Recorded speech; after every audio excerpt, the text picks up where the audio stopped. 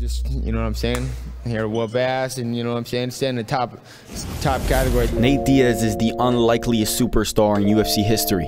To achieve notoriety in the world of combat sports and beyond, you need charisma, favorable circumstances, support of the corporate machinery, and most importantly, some degree of dominance. I, I can learn a little from every every fight. Uh, I try to take take stuff from each fight, win or lose. You know, even when you win, you're not you didn't do everything completely correct. Brock Lesnar, Conor McGregor, and Ronda Rousey are some of the most popular stars in MMA history. And in addition to charisma and beneficial circumstances, these athletes had the blessings of Dana White himself. Nate Diaz, on the other hand, had almost none of those, and yet he walks away from the octagon as one of the biggest superstars in recent memory, in spite of the fact that his own boss was out to get him. How did this happen? Well, karma is something to behold.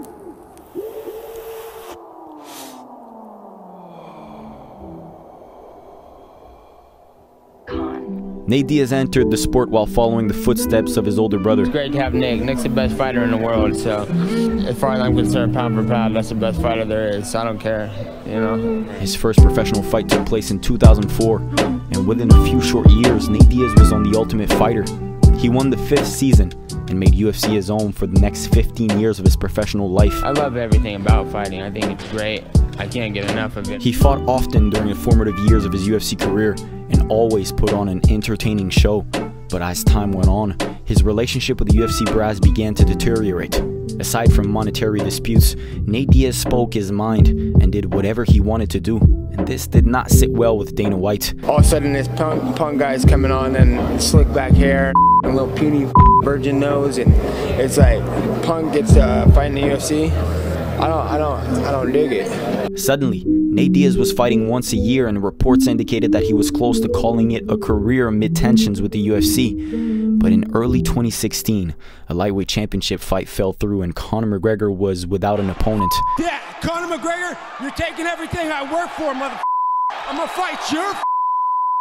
You know what's the real fight? What's the real money fight is me. The UFC then approached Nate Diaz and offered him a shot at the seemingly invincible Conor McGregor on two weeks' notice.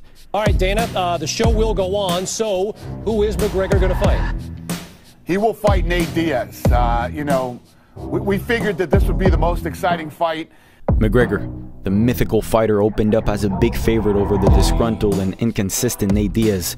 This was a small bump on the road, the UFC was looking to make the most out of it by sacrificing a cult hero to Conor McGregor before he moved on to attaining double champion status.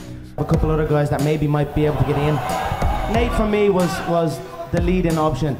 There were many, many options, but let's see what this man is about. He talked like I took something from him. That's what he said after the fight. And then everyone else went running. So, Nate, congratulations. The odds were stacked against Diaz, but the Stockton native rose to the occasion and strangled the mystique of McGregor in the second round of the fight, and consequently, he became a superstar himself. They're the new king of this now, and it's right here, all right? You can never have enough stars in a company, but for the UFC, this was an unmitigated disaster. The second superstar in the company was the same guy they had tried to set up for a massacre. Nate, where do you go from here? What, what would you like to do next? I'm at the top, so it's their call what's next. We'll see what happens. Unfortunately, the frequency of his fights got even worse. After the rematch with McGregor, Nate disappeared for three years, and the backstage war between him and Dana White continued. His return fight was against Anthony Pettis, but beyond that, he was put up against Masvidal, a welterweight contender on the cusp of superstardom. After that, he was booked against Leon Edwards, a welterweight contender in some desperate needs of exposure. I feel like I'm in a position to be able to pick and choose because I already done more than all these fighters, you know? So that's my thoughts on that. It's cool. The intention behind these mismatches was transparent. Diaz was set up as a sacrificial lamb to those who needed an extra boost in popularity. But in both matches, Diaz walked away as the people's champion and an unlucky fellow, and not as the loser the UFC had hoped. The fight against Masvidal was cut short due to a cut, and he clowned the future welterweight champion Leon Edwards in the closing moments of their fight. The narrative was painted by Nate Diaz, and his popularity, despite two losses, remained intact. He still had that swagger going on. I want to say thanks to everybody for the love and support. I appreciate it. In 2022, Nate Diaz had one more fight left on his contract, and he was looking to brawl with someone like Dustin Poirier, a perennial lightweight much like himself, and then right off into the sunset. Dana White, however, had something else in mind. An undefeated phenom by the name of Khamzat Chimaev needed to feast on a popular name, and that was the match. UFC 279 was to be headlined by Khamzat, an occasional middleweight versus Nate Diaz, a career lightweight. The contractual snags had led up to this, a checkmate in favor of the company. This was how his UFC career was supposed to end, mauled by a wolf and beaten out of the company. Dana White had defended the horrid matchmaking by saying that Diaz himself wanted to fight Khamzat, but during fight week, the Stockton native himself rubbished the claim. But this was his last contractual fight, and he wanted to get it over with. And what they got me doing right now is they're acting like I called for this fight, which I don't didn't call for, and I don't want, and didn't want, and still don't want. But I don't give a fuck. Go fight anybody. Constant stalling by the UFC drove Diaz to this, and Dana White was a very happy man. He finally got him where he wanted, locked up in a cage against a phenom was perfectly capable of crushing the legend of Nate Diaz. Him, them, everybody. If I get my ass whooped, guess what? Whatever. But life works in mysterious ways, people, and often with a tendency of rectifying justice to those who never received it. I don't think you've heard anybody say it, and Nate Diaz best just beat Chimaev. You want to deny that? Karma struck the company once more, and just a day before the event, the superstar in making, the chosen one, Khamzat Chimaev, missed weight by close to 8 pounds for the most important fight of his career. Scale right now. 178 and a half. Oh. It's eight pounds. A day before this, he played a part in the cancellation of the pre-fight press conference. And with the miss, he sunk the entire event into chaos. One day before the biggest fight of his life, Khamzat undid the months of planning carried out by Dana White, and the tide shifted once more.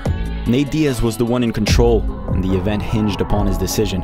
He was well in the right to say no to the company that had attempted to sabotage him, but he picked his own opponent, a fellow legend in Tony Ferguson. Khabib's bitch ass was afraid of him just like this bitch ass motherfucker was afraid of me yesterday. And he remained the main event, while the corporate favorite was relegated to the co-main. This was supposed to be a sacrifice, but greed begets karma, and UFC 279 concluded as the last triumph of Nate Diaz as he walked away from the octagon with a victory over a guy he respected in Tony Ferguson. Age ain't nothing but a number. I'm younger than my whole gym.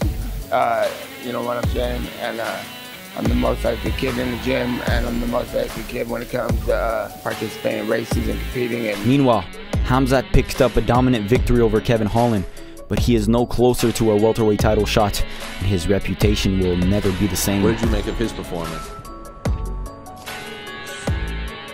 lame, scared, boring, rookie, whack, pussy, lame, dick sucker. The victim in this fiasco left with a victory, a truckload of extra cash. So how much more did they give you? I lost count. And a whole lot of bragging rights over his own employer. For the UFC, Nate Diaz was karma incarnate, from start to finish. In his post-fight interview, Diaz mentioned that he would eventually return to the octagon, but this is likely the end of the Nate Diaz show. He was never a champion. He was never the best fighter in the division, and he was never on the pound for pound list. But in addition to being a massive fan favorite and superstar, Diaz will be remembered for what he always preached a gangster. There is nothing more gangster than flipping your boss off on the final day of employment. And Nate Diaz, despite all the roadblocks put in his career, did just that.